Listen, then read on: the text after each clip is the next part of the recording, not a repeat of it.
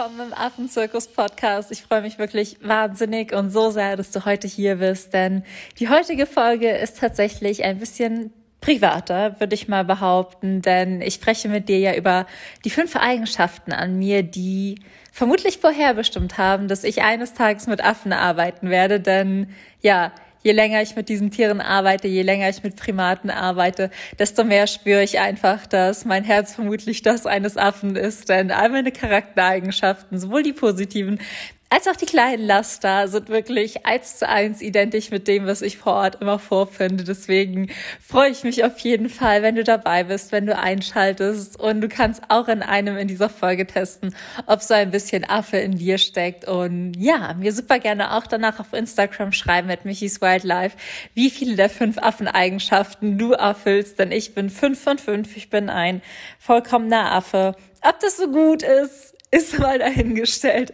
Aber es sorgt auf jeden Fall dafür, dass ich viel Spaß an meinem Job als Primatologin habe und an meiner Tierschutzorganisation und dass ich mich zwischen den Primaten einfach pudelwohl fühle. Ich wünsche dir viel Spaß bei der Folge.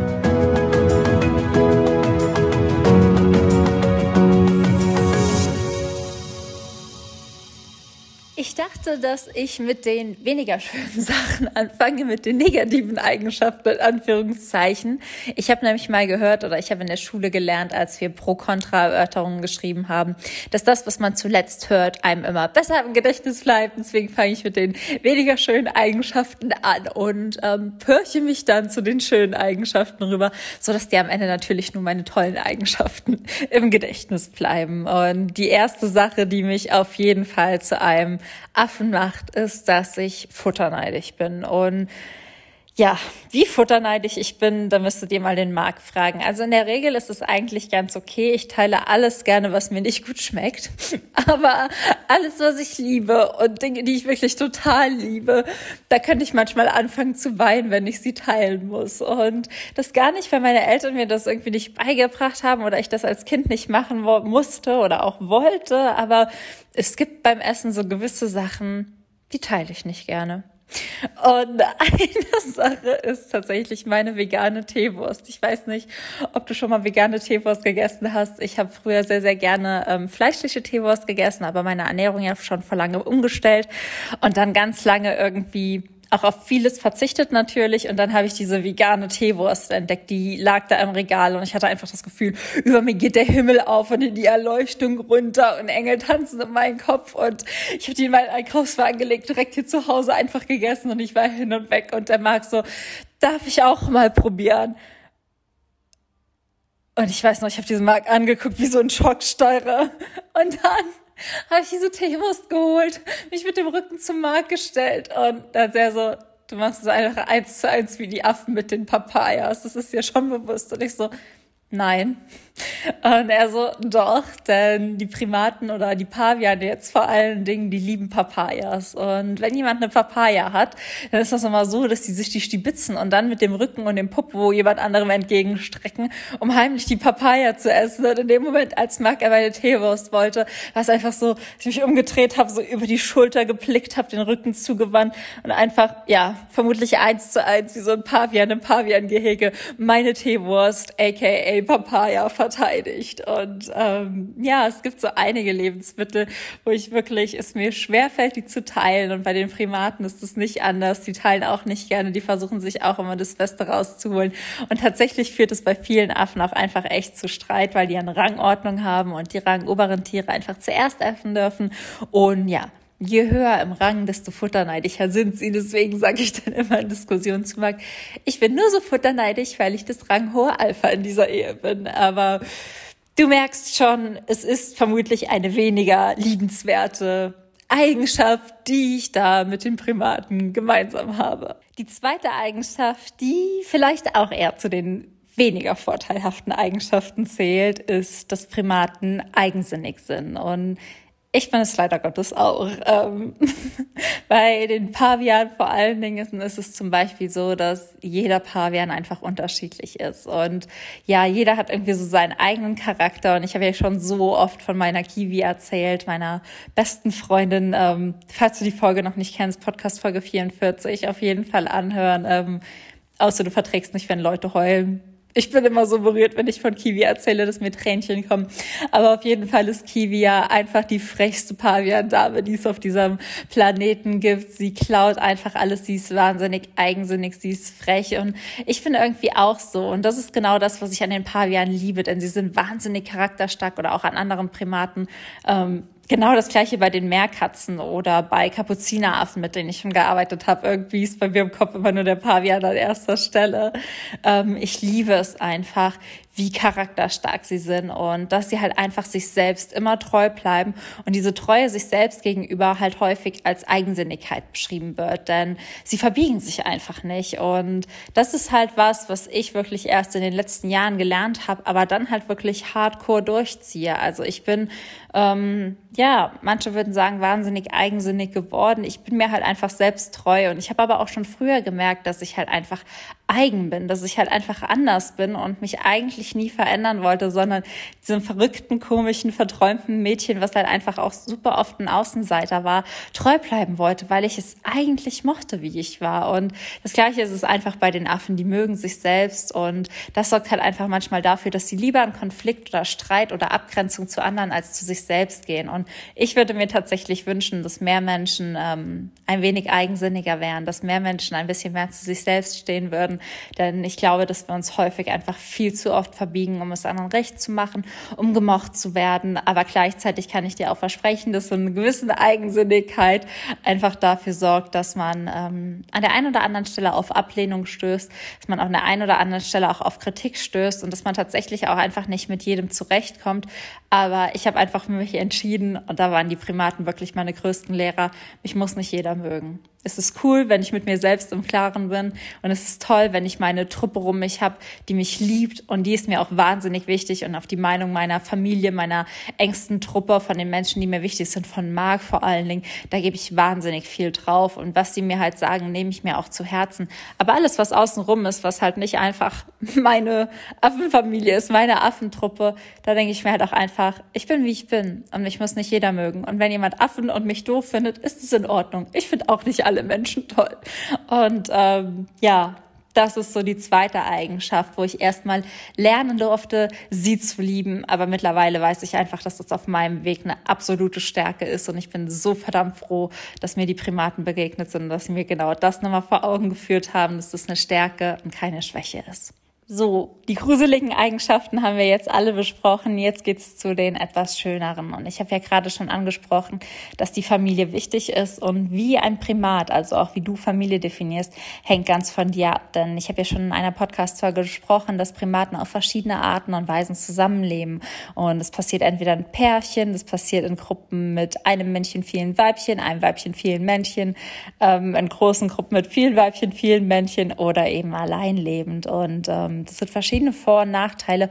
Und ich habe auch für mich festgestellt, dass ich einfach zu den Primatenarten gehöre, die auf der einen Seite super in diesem monogamen Verhältnis leben, das heißt mit einem Partner, aber trotzdem auch den Rückhalt des größeren Ganzen brauchen. Und diese Beziehung zu pflegen, neben der Beziehung zu sich selbst, auch diese Beziehung zu diesem Backup, und das ist in meinem Fall Markt zu pflegen, ist für mich wahnsinnig wichtig. Und das habe ich auch von den Primaten gelernt. Denn die Primaten pflegen ihre Familienangehörigen. Die Primaten achten auf ihre Familien, die ehren die, die halten zusammen und da kommt nicht, nichts dazwischen.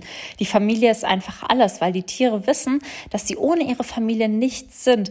Insofern, dass sie ohne ihre Familie nicht überleben. Und ich bin mir mittlerweile auch ziemlich sicher, dass gesunde Beziehungen einfach dazu gehören, wirklich glücklich und erfüllt zu sein. Und ähm, ja, da wirklich anzuerkennen, dass man da dran arbeiten darf und dass man da Energie und Liebe rein investiert und dass das nicht selbstverständlich ist. Das ist einfach was, was ich mir abgeschaut habe, denn ich beobachte ja ganz oft Primaten und so viel Zeit am Tag verbringen sie damit, zum Beispiel ihre Liebsten zu lausen und das ist einfach eine Form von denen von Zuneigung, von Zuwendung, von auch Anerkennung. Das heißt, sie nehmen sich einfach die Zeit, ihre Partner, ihre Truppe zu pflegen und jetzt mal ganz ehrlich, wie viel viel Zeit nehmen wir uns denn, unsere Partner zu pflegen? Und das heißt jetzt nicht zu lausen, aber ihnen einfach was Gutes zu tun. Und ich sehe bei den Affen, dass da so starke Beziehungen entstehen können, weil sie einfach sich aktiv am Tag eine Stunde manchmal Zeit nehmen, um nur da zu sitzen und nur den Partner,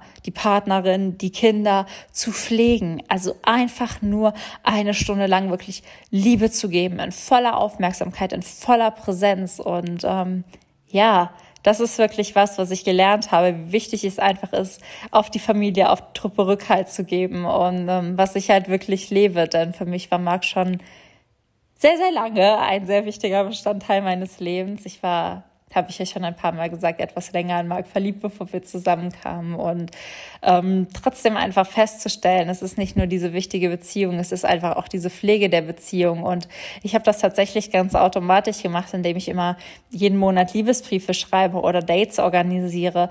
Aber ähm, mir war das einfach gar nicht so bewusst, dass das nicht normal ist, bis Marc einfach ganz irritiert war, dass ich da am Anfang alle paar Wochen und Tage Liebesbriefe auf den Tisch gelegt habe. Und das Schöne ist mittlerweile, oder eigentlich hat das nicht lange gedauert, irgendwie nach den drei ersten drei Liebesbriefen hat er dann auch so geschrieben. Ich habe zwar noch nie einen Liebesbrief geschrieben, aber ich dachte, ich schreibe jetzt mal zurück. Und mittlerweile ist es bei uns zu einem täglichen Ritual geworden, einfach Gefühle auszudrücken, den anderen zu pflegen, den anderen in den Arm zu nehmen, den anderen anzuschauen. Auch das ist ein verdammt wichtiger Punkt. Und diesen Rückhalt, diesen Backup und diesen Zusammenhalten mit der Truppe ist wirklich eine andere Sache, die mich und Marc wahnsinnig ausmacht. Die vierte Sache ist, ich bin abenteuerlustig und das sind Primaten tatsächlich auch. Alles, was sie irgendwie sehen, alles, was sie irgendwie erkunden, muss ausprobiert werden. Wenn da irgendwo was rumliegt, dann muss daran erstmal geschwungen werden. Oder wenn sie irgendwie ausbrechen können, wollen sie ausbrechen. Wenn es irgendwelche neuen Bäume gibt, müssen die erklettert werden. Und genauso geht's mir auch. Ich liebe Abenteuer. Ich liebe Dinge zu erkunden. Ich liebe neue keine Ahnung, Gewässer zu betauchen, neue Routen zu gehen hier in unserer Umgebung, neue Tiere zu entdecken und Abenteuer sind einfach das, was mich lebendig hält, nach draußen zu gehen und irgendwie das Gefühl zu haben, die Welt ist ein Abenteuerspielplatz. Und genauso geht's den Primaten auch. Und wann immer wir mit ihnen wirklich auf Baboon Walks gehen oder die Wörwitz zum Beispiel rausholen, die Meerkatzen, Wörwitz sind Meerkatzen, es ist einfach so, dass sie die Welt zu ihrem Abenteuerspielplatz machen. Und genau das kann ich auch. Und das ist wirklich was, wo Marc manchmal vermutlich, ja, sich denkt, wie kann sie das denn jetzt einfach, wie kann sie jetzt gerade so hier abgehen, obwohl da einfach nur ein Fleckchen Wiese ist, aber ein Fleckchen Wiese reicht, um Abenteuer zu erleben und wirklich, das ist eine meiner, glaube ich, mit größten Gemeinsamkeiten mit diesen Tieren, dass ich einfach das Abenteuer immer und überall sehe und auch suche und es auch einfach liebe und mich dann kopfüber reinstürze und gar nicht genug davon bekomme. Und das leitet auch schon direkt zu unserer letzten Gemeinsamkeit über meine Begeisterung. Ich bin einfach begeistert von allem. Und das ist wirklich, das ist ganz witzig, weil ähm, wir waren mal gemeinsam auf einem Baboon Walk Markt, die Affen und und ich und andere freiwilligen Helfer und ich saß dann einfach da mit den Affen und habe genauso wie sie den Boden erkundet, die Steine, die Blätter, das Wasser. Und Marc sagte einfach nur, das Einzige, was dich unterscheidet, ist, dass du anders aussiehst, dass du größer bist, dass du Klamotten trägst und dass du nicht ganz so behaart bist, aber ansonsten vom Verhalten her eins zu eins. Und es ist einfach so, ich begeister mich für so viel. Letztens waren Marc und ich spazieren und dann lag da einfach eine Nuss auf dem Boden und ich habe diese Nuss geholt und dann habe ich so Marc in die Augen geschaut. Das ist auch immer ganz wichtig, übrigens Verbindung aufzubauen. Aber ich glaube, ich habe das eben schon gesagt. Auf jeden Fall, wenn du einen Partner hast oder Kinder hast, schau ihnen immer in die Augen jeden Tag. Das setzt Bindungshormone frei und das sorgt einfach dafür, dass man sich immer wieder neu verliebt. Ähm, und das kannst du übrigens auch bei dir machen im Spiegel. Morgens dir selbst in die Augen schauen. Und ich habe diese Nuss aber aufgehoben und habe ich Marc angeschaut und mit der Nuss gewackelt und sie ihm einfach zugeworfen. Und das ist es einfach, diese Begeisterung für alles, was da ist, sei es Gras, sei es Nüsse, sei es Tiere, sei es die Natur und wirklich anzuerkennen, wie viel uns die Natur bietet. Und ich habe das schon so viel von den Primaten gelernt, die mit allem spielen, seien es Stöcke oder Steine oder Nüsse oder irgendwelche Früchte, die herumliegen. Es ist einfach die Begeisterung für alles und ähm, ja, das ist wirklich was, was mich mit ihnen verbindet. Und bei mir geht es einfach über die Natur hinaus. Bei mir geht es auch einfach in die Organisation, in das, was ich tue, in das, was ich machen will. Nur dadurch, dass ich von so viel so schnell begeistert bin und so viel Liebe in alles reinstecken kann und diese Begeisterung auch nie endet, weil wenn ich mehr Begeisterung brauche, gehe ich einfach eine Runde um den Block spazieren, sehe irgendwas, was ich cool finde und bin einfach wieder irgendwie in diesem State of Neugierde, Begeisterung und Freude und tank einfach auf und das ist, glaube ich, meine Eigenschaft, auch warum mir meine Energie am Ende nie ausgeht, weil ich immer wieder irgendwas draußen sehe und erkenne, was mir Energie schenkt. Und das ist das, was ich auch bei den Affen sehe, die bei uns traumatisiert oder verwundet oder auf irgendeine Art und Weise halt zu uns kommen. Du kannst, kannst einem Affen das Herz brechen, aber ich habe noch keinen Affen gesehen, der wirklich seine Begeisterung verloren hat. Und meistens ist es auch diese Neugierde, die sie irgendwann aus ihrem Schneckenhaus wieder rauslockt und zu den wilden, frechen Tieren lernen lässt, die sie sind. Und das vereint uns. Das vereint uns wirklich. Wow, ich hoffe auf jeden Fall, dass dir diese fünf Dinge gefallen haben, diese fünf Eigenschaften von mir. Ich finde es irgendwie auch ganz witzig oder ganz schön, manchmal ein bisschen was von mir zu teilen. Einfach damit du auch weißt, wer ich bin, was ich mache. Natürlich ist Social Media Social Media und das ist alles cool und schön, aber es sind alles irgendwie Bilder und ich habe immer das Gefühl, dass man trotzdem noch gar nicht so genau weiß, was für eine Person, was für eine Persönlichkeit hinter diesen Bildern steckt. Und ähm, ja, hoffe einfach nur, dass du so das Gefühl hast, oh, da kann ich mich mit mich identifizieren oder da ist die komisch und dass man einfach noch eine ganz andere Verbindung zueinander aufbaut, sich auf eine ganz andere Art und Weise kennenlernt. Deswegen freue ich mich auch wahnsinnig, wenn du mir in den Posts heute einfach in die Kommentare schreibst, ja, welche der fünf Eigenschaften auf dich zutreffen, ob du auch futterneidig bist oder ein Familientier, ob du begeistert bist, Abenteuer liebst oder eigensinnig, ähm, dich einfach vorstellst, damit auch ich dich kennenlerne. Denn irgendwie ist es für mich so, ich nehme das immer auf, ich quatsch das immer runter, ich sitze hier immer auf meinem Sofa oder in meinem Büro und strahle vor mich hin, aber ich weiß ja gar nicht, wie es dir dabei geht, wenn du die Podcast-Folge hörst. Deswegen freue ich mich über Feedback und falls du Zeit und Lust hast, freue ich mich wirklich wahnsinnig über eine Bewertung auf iTunes. Es ist einfach wichtig, du weißt es. Und ich weiß auch, dass es lästig ist, aber es sind nur zwei Minuten. Und ich bin jetzt mal so eigensinnig, dir damit nochmal auf die Nerven zu gehen, einfach damit der Podcast wirklich ganz, ganz viele Menschen erreicht. Und ja, hoffentlich mehr Menschen dazu bewegt, sich mit Tier- und Artenschutz auseinanderzusetzen, vielleicht mal freiwilligen Helfer zu werden oder einfach für die eigene Tierart, die irgendwie das eigene Herz berührt, einzustehen, denn ähm, es kann nicht genug Tierschützer auf dieser Welt geben. Und vielleicht bist du im Herzen kein Affe, sondern ein Elefant oder eine Schildkröte oder ein Wolf. Und das ist cool, denn all diese Tiere brauchen auch Tierschützer da draußen. Das heißt, spür auch super gerne in dich hinein, für welche Tierart dein Herz schlägt. Ansonsten ja, bleibt mir jetzt gar nicht mehr viel zu sagen, außer wirklich, es ist schön, dass du hier bist. Ich freue mich, ich freue mich von dir zu lesen auf Instagram. Und jetzt wünsche ich dir einfach nur einen wunder wundervollen Tag. Sei frech wie ein Affe und alles, alles Liebe, deine Michi.